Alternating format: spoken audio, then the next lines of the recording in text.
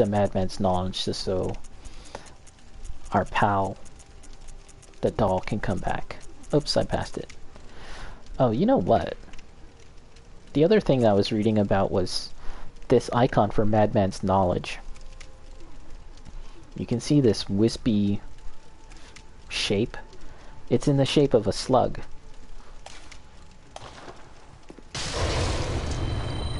And when you when you use uh, Great One's Wisdom, let's take a look at that. You can see that it's several slugs. And if we read the uh, inscription for for milkweed, a Caryll rune envisioned by Adeline, patient of the research hall, a transcription of inhuman sticky whispers that reveals the nature of a celestial attendant. Those who take the, this oath become a lum- lumen wood that peers towards the sky, feeding phantasms in its luscious bed. Phantasms guide us and lead to further discovery. So that's what those are. Those little uh, those little slugs those little ghosty looking slug things are phantasms. And if you again if we take a look at the uh, that the the image icon for for the madman's knowledge, it's kind of splitting open a brain and the the phantasm is coming out. And then this one furthermore, the phantasm is, is really splitting apart the head. Right? And we can assume then that this is sort of like the end result, like sort of the end game the end game for uh, for a skull that's got far too much insight, right? Um, the head just basically the skull and the head basically just disappear, and it becomes this thing that attracts the phantasms, which are those ghostly slug shapes. But uh, interestingly enough, one of the attacks that we have here as a as a lumen wood, um, you you shoot out slugs. Let me see. Mm, that wasn't it. Which one is it? Oh, you know what? It's transformed. It's a transformed attack, so...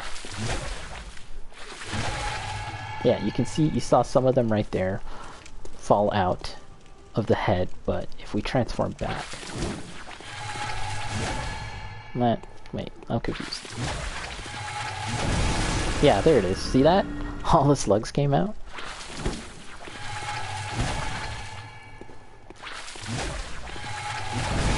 There they are. and those are the... I think those slug-like things are something that you see in the fishing village as well. So it's it's it's something that I hadn't realized until until like today or yesterday when I was reading all about about beasthood and and like insight, the relationship between beasthood and insight. You can almost imagine it as something like like like two extremes, right? On the on one side is beasthood, right? And you can become uh, this guy, right?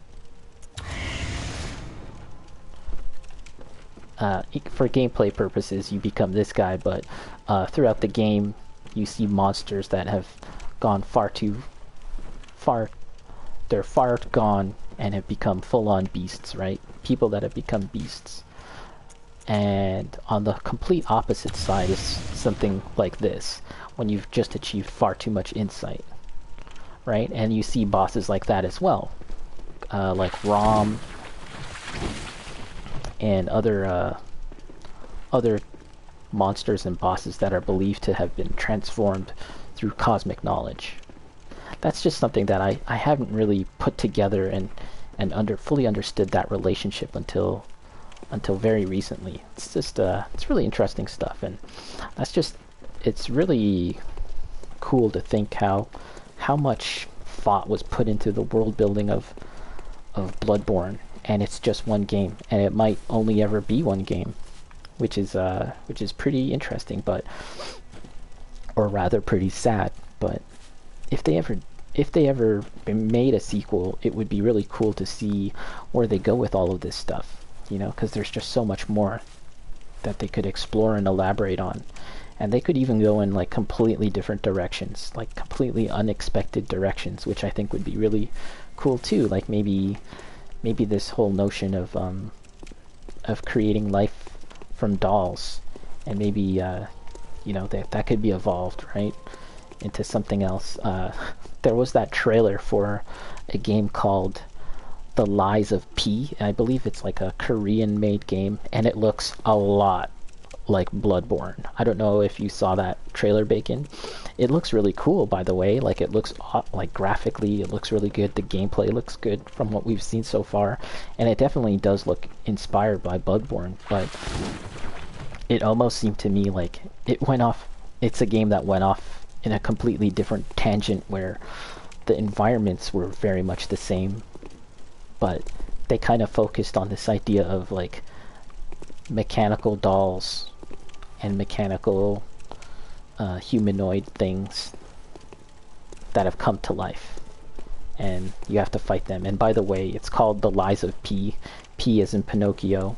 You play as, I'm assuming, Pinocchio. A really cool looking Pinocchio. and yeah, you fight a bunch of other automatons. Uh, really neat, but yeah. Let's take a break and we'll get back to it. We'll get back to Upper Cathedral Ward.